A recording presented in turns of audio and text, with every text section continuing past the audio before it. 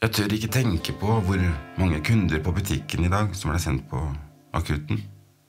Rause Randi har i dag handla inn til 17. mai-baksten. Og på butikken er hun som en panservogn. Står du i veien for eh, henne da, så er hjelpemiddelsentralen det du må forholde deg til etterpå.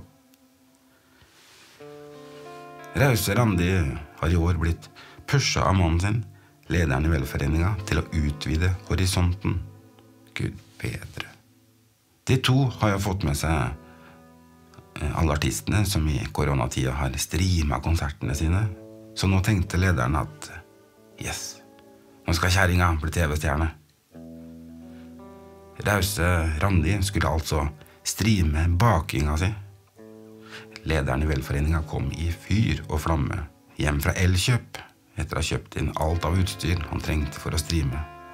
Dette ble porno for matinteresserte, sa han da jeg møtte han utafor helt på tuppa var han, og hasta oppover gata med nevene fulle av utstyr.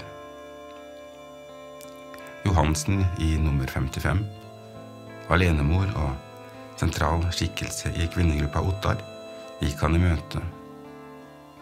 Så jeg ropte han skal spille inn porno på kjøkkenet. Lederen var så oppglødd at han ikke hørte hva jeg ropte. Han bare smilte fornøyd, gløtta på Johansen og nikka seg enig og forta seg inn.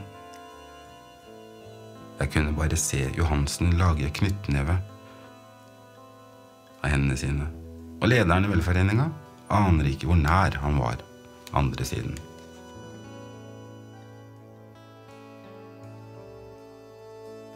Harmdirrende tramper hun bort til meg og spør Skal han spille inn porno på kjøkkenet? Vi var rasende. Jeg tenkte i mitt stille sinn dette kan bli interessant. Så gløtta jeg på Johansen, den sentrale skikkelsen i kvinnegruppa Ottar. Og hun har jeg sett veldig mye i avisa. Hun er ei meget sint dame. Så jeg kremta litt og svarte det var nå det han sa, ja. Blodårene på halsen til Johansen økte drastisk i størrelse, og jeg kunne se blodet blei pumpa direkte rett opp i toppetasjen på dama. Nå holdt det på å renne fullstendig over for hun. Så jeg føyde til. Han sa at folk kan vippse underveis også. Hadde lederen stått foran henne nå, så hadde han blitt revet i filler. Den største biten som hadde vært igjen, hadde kanskje vært en eh, tann. Så sint var hun.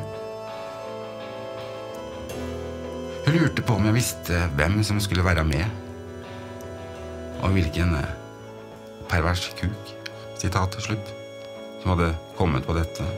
Jeg svarte etter beste evne at eh, det var ei som ville være med fordi hun var god på akkurat dette.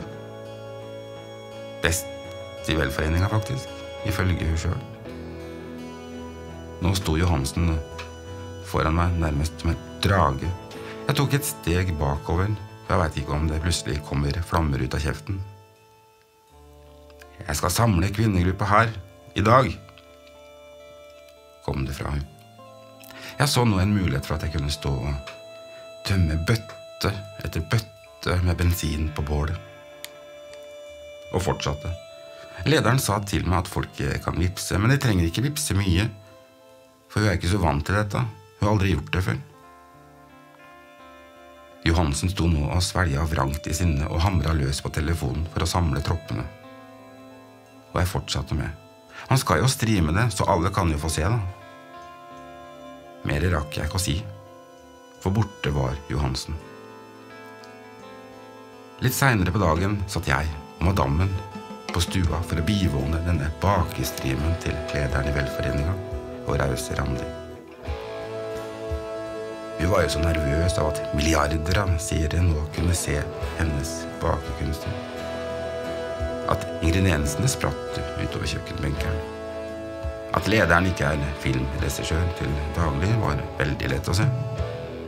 Og øverst på skjermen kunne vi se hvor mange som fulgte streamen.